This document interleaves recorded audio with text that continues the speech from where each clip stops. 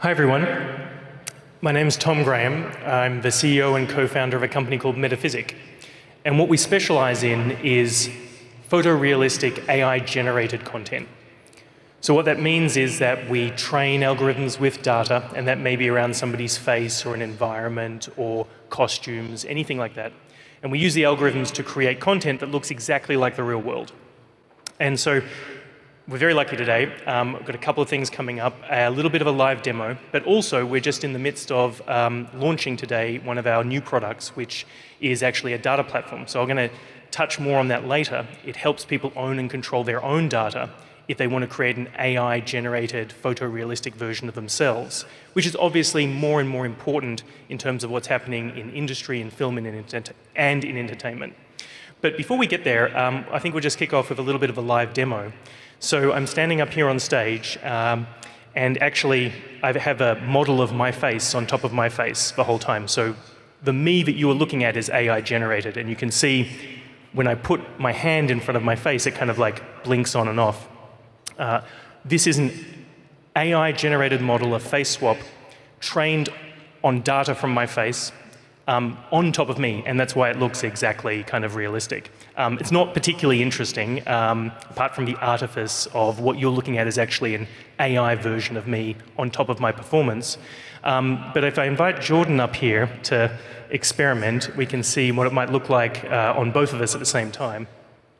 Now, Jordan has glasses on, we'll take those off. So, um, Jordan, in, in real life, you can't see yet, but she doesn't have a teenage beard. Um, uh, and, you know, it's kind of, it's, you notice the microphone, it sees the microphone and it's trying to remove that from the, the model. But um, yeah, it's a, a, little bit strange, but that's what it looks like. And it, it will lock onto anybody's face. Um, and uh, I think, you know, we have similar face shapes, so that's um, kind of a good mix. But um, uh, that's a great example of um, kind of this technology that we're talking about. Sorry, I'll, I'll let you oh, let you go unless you. you want to um, hang out in the awkward position of having my face. Um, this is a great example of technology that we use on production on films.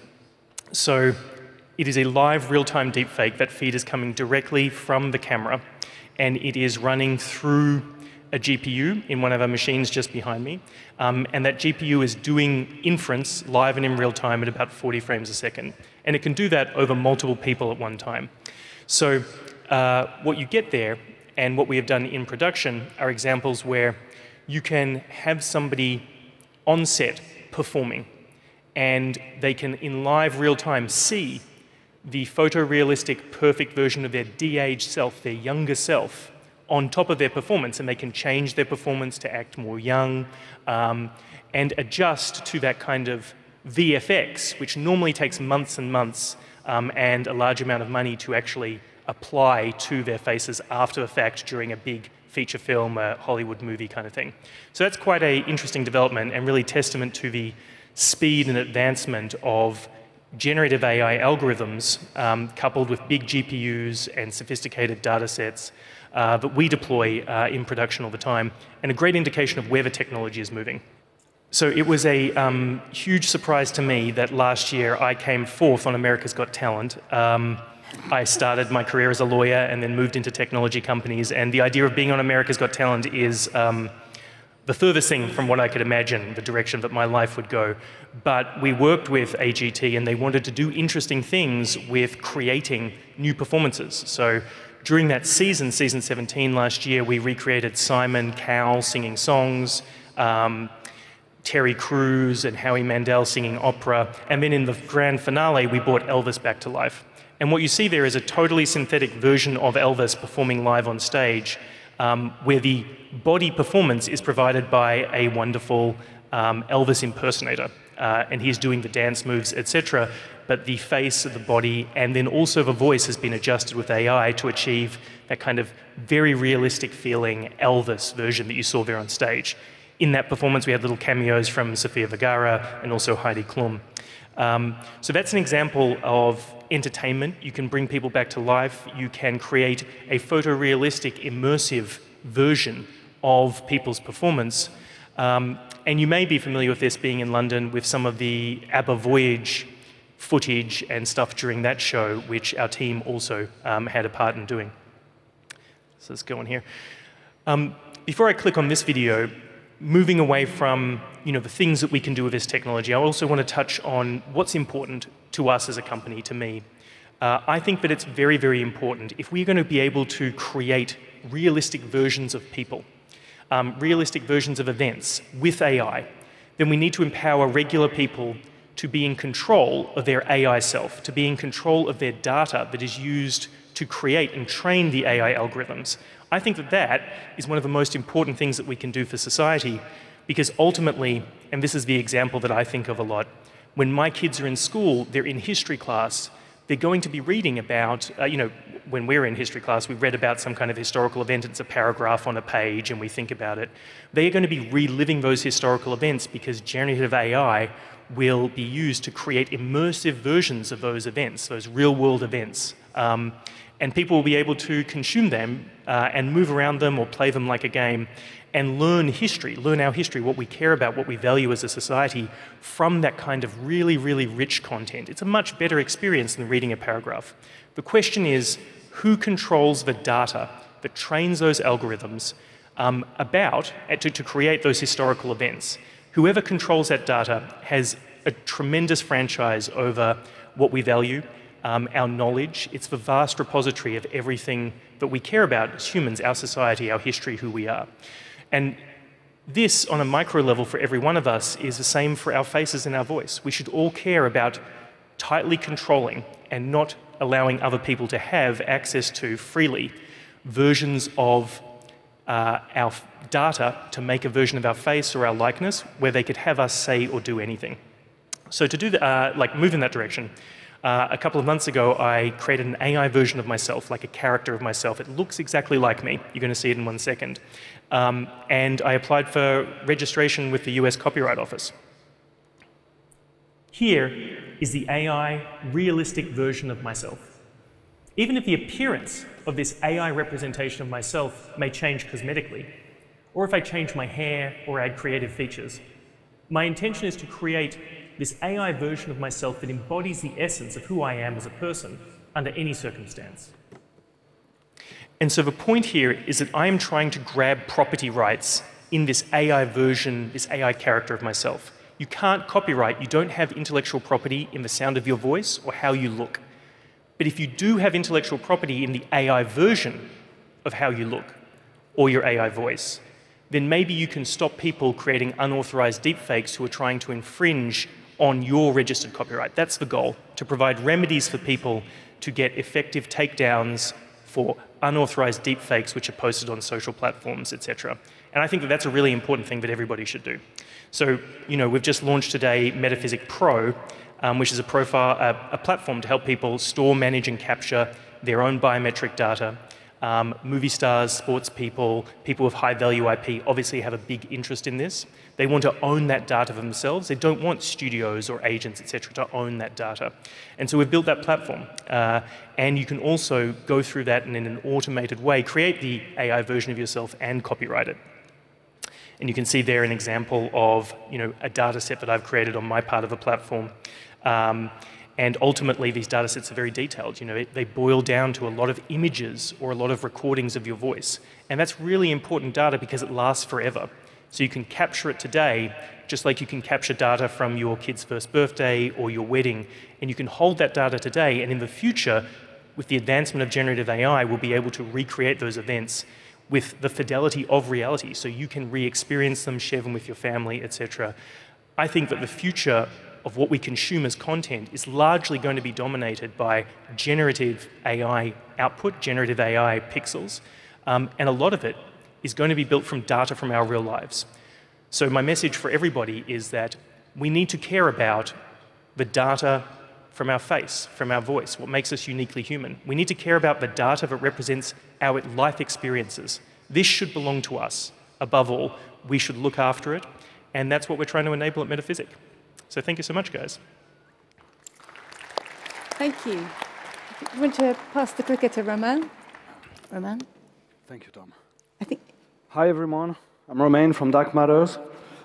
Let's see how that works. Ah. So I'll start with talking a tiny bit about myself. Um, I started actually putting content in front of users in the media server industry, mostly for theme park installation, using projectors, LED screens, these kind of things. And then moved to the movie industry, where we started putting content in front of cameras to reproduce worlds, um, be it real worlds, be it impossible worlds, all these kind of things. And a few years ago, we decided that it was the right time for real-time technologies to come together and be actually used in many, many production. So we started a company called Dark Matters, which is uh, located south of Paris, and you will see that this is kind of a big one. There is a bit of real-time all over the place. We're thinking about real-time engines that we use, be it on set, be it for the motion capture, or be it for the pre-visualization. So we are on pretty much every stage of, of production, from prep to the last day of shooting. One of the things we need the most is content. Uh, we, we, need content to visualize what we're going to do in the motion capture stage. We need content to visualize on set. We need to replicate the real world. We need to create new worlds. On how do we get this content together?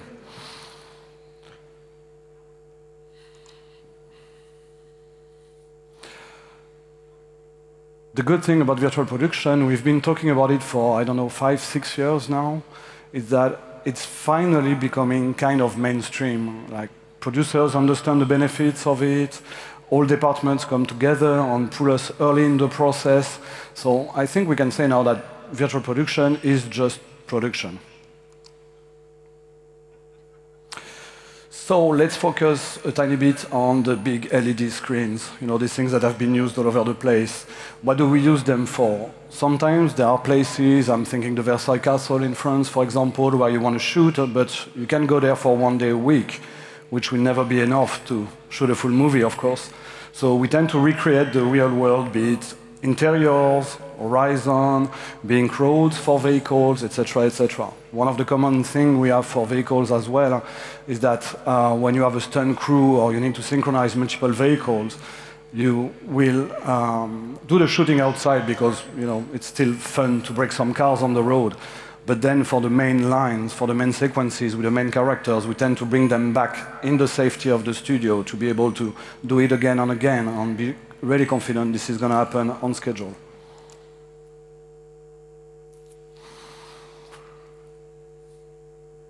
Of course, there is impossible locations. I think it's all started with that. Uh, we, have talked about these LED volumes on, you know, big uh, AAA. I think The Mandalorian was one of the, the ones that during COVID made the most marketing outside of it. But again, my, my thinking is that we tend to reproduce the real world more and more. And this is what we actually need the most in production. There is nothing we can do without the real world. Every time we need physical sets before doing the virtual ones. Um, again, I'm coming to the content. We have different type of content. We are doing 2D plates. You know, when you want to do a car shoot, you just go on location, film on the road, all these kind of things. Uh, we have 2.5D, which is a bit of a strange one because you use this spherical content that you move depending on the angle or axis you want in camera. And of course, the 3D con content. Um, one thing we've been using more and more is actually abstract content, something that goes beyond reality just to make some kind of effect in camera.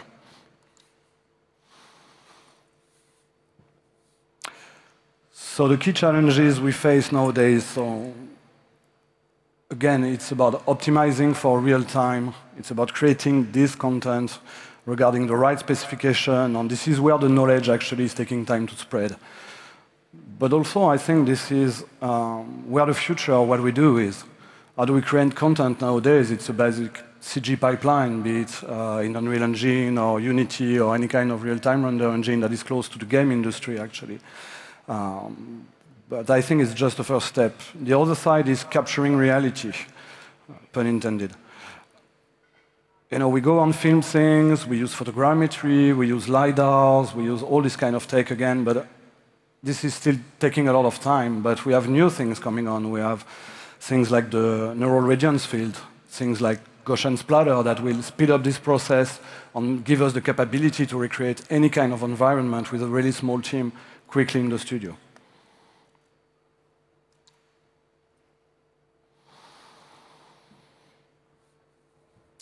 So there, there is this set, where you have your physical things going on. Then you have your extension with the LED wall, and then you want to extend that again. That's something we do a bit in filmmaking, but we do a lot in broadcast. I think pretty much everyone know has seen a Super Bowl or anything where you have like 3D content right in the middle of what's been shot.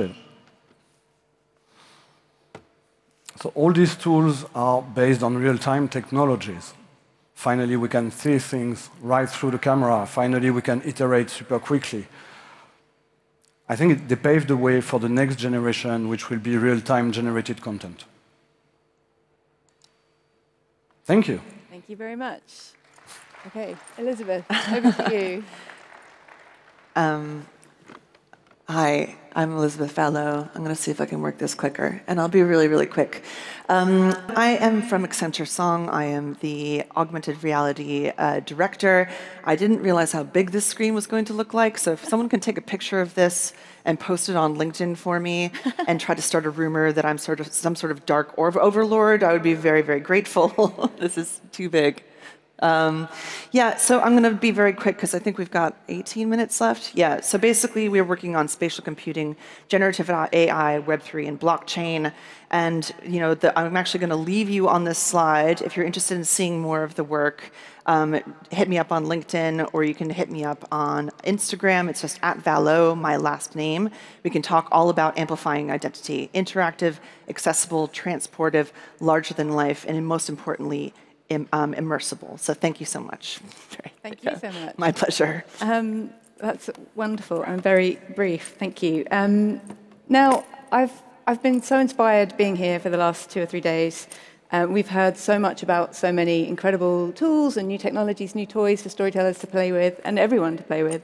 Um, my work day to day is about helping storytellers and filmmakers get into the industry and build their careers, so I'm super invested in where this is all going. Um, a lot of the conversation has been about making film production, you know, better, faster, more efficient, cheaper. But it feels to me like some of these technologies, it's not just about doing what we already do faster. This is going to open up a whole new areas of storytelling and uh, story consumption. Where do you, I'm going to ask all of you this, but I'm just curious to know, where do you see it going? I'm going to start with Tom, because you're at the end. I don't know if you... Sure. Yeah. Um, so I think that there is a big change in how you can create content with generative AI. Um, it is certainly more efficient. Um, for instance, with faces and bodies, you can do things that you can't do with traditional VFX. So I think that, you know, on a micro scale, we will see more movies with younger versions of people, with people who have deceased. Um, and then eventually we will see content, uh, and by, when I say eventually, I mean like very soon, um, where regular people are featured inside content and that content is tailored directly to them. So you might log into Disney Plus with your data and ask to be put inside a Star Wars film, and one of the characters would be you, and it streams back to you. Um, there are myriad possibilities because the ability to create that content on the fly with generative AI is not just cheaper, but it's faster towards real time, um, and it's cost effective, whereas traditional VFX is not something that is uh, cost effective. And I'm just curious about, just to pick you up on that, um, the idea of having yourself in a film. Mm. Do you think that that's near future? How far away do you think that might be? Uh, next week. Yeah. um, I think that realistically, the technology will go faster than companies' ability to solve the rights problems and the practical problems of doing that. Yeah. Um, I think that it'll only be 12 to 18 months before generative AI video, amateurs are doing that anyway. Right.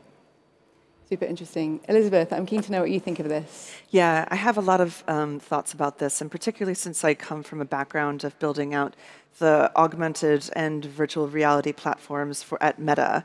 So uh, when you're working at a basically social media platform that's moving into a more narrative and an immersive space, it, the, the, the hero of every film is the user.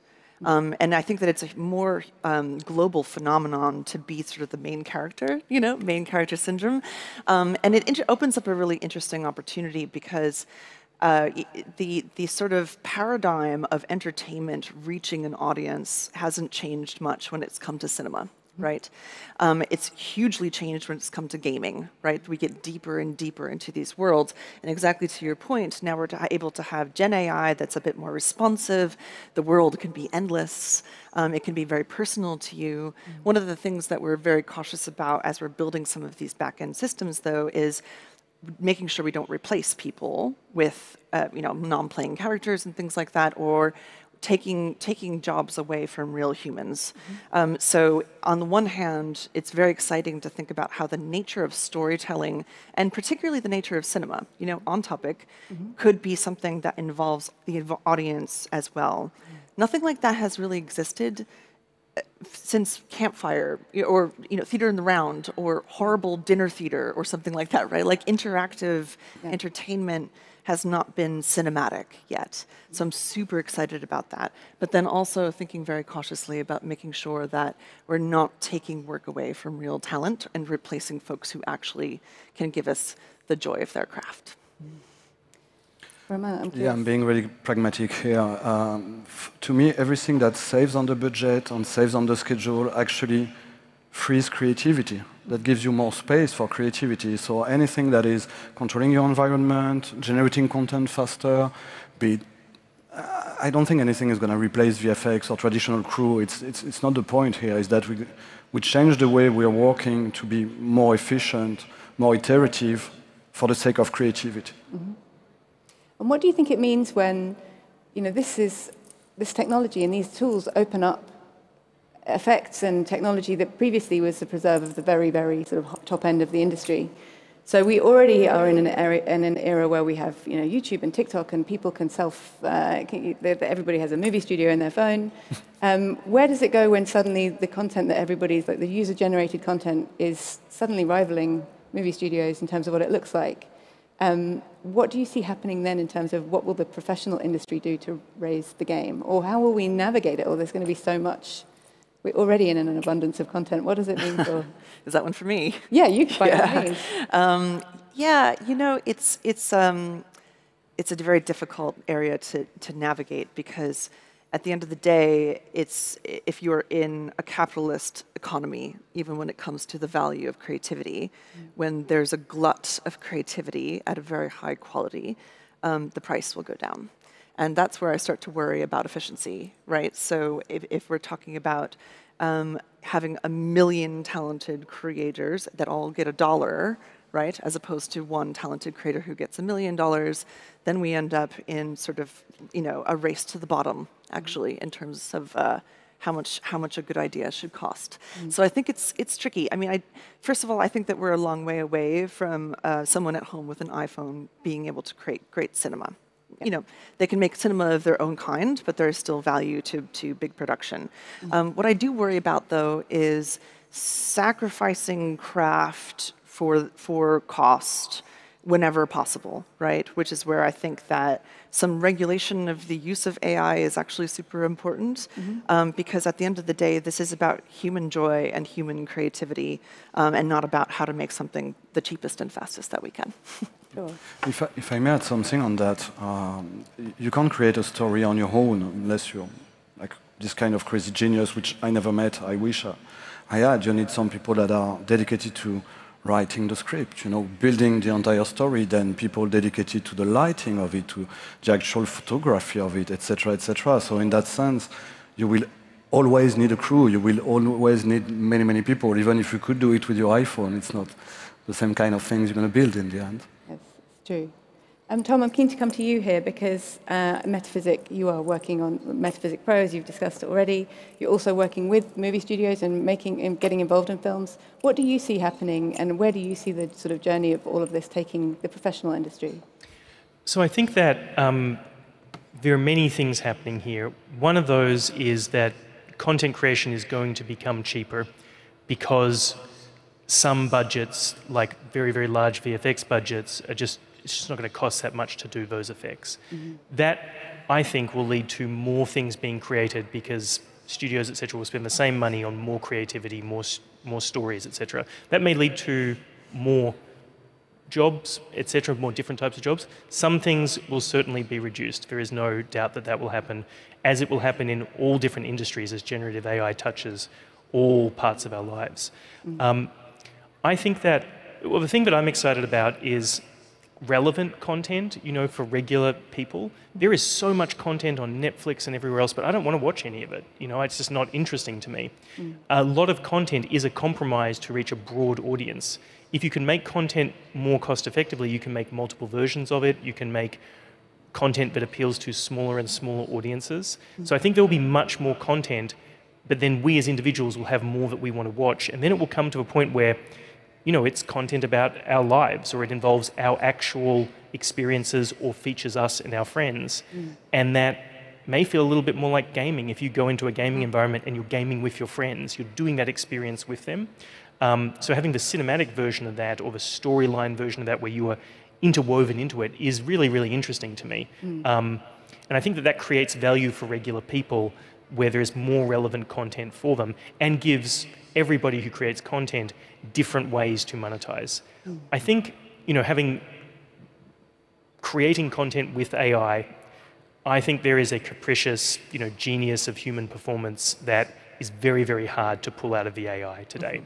People say, you know, oh, this script is great, etc., but it's not. It takes thousands of iterations and someone really rewriting a script which is generated by generative AI today. Maybe in a few years it will be much, much better. Mm-hmm. But there is something new about what humans can do, and humans can do that effectively even if generative AI can do that. So I think that storytellers, people who own IP that has built in audiences, mm-hmm. um, will be very, very relevant as we can make more content that's more relevant, more cost effectively. Uh, so I think there's a lot of content coming, um, but there will be changes, just like the entire industrial revolution, which is going to touch our society. Yeah. Elizabeth, I see you nodding. Do you have something to add here? Well, I just wonder, so, so it's an interesting industrial revolution that we're having because it's going to take out the younger generation, I believe, actually. So in the past, it was the craftsmen and the people who made things with their hands. Mm-hmm. And for at this level, it's going to be start, it's early entry jobs, right? Yes. Beginning writers, like all of the sort of grunt work that's slightly less skilled, mm-hmm. can now be done by these robots that we can control and stuff like that. So it's it's uh, it's troubling, right? Because culture rises from the youth often. Yes. You know, so I'm wondering if we're going to have what is what was it called, like the Butlerian jihad from Dune, the anti anti computerization, right? right. Does it become super uncool and counterculture to use computers at all? Right. Because it took my job. Yeah, right? right.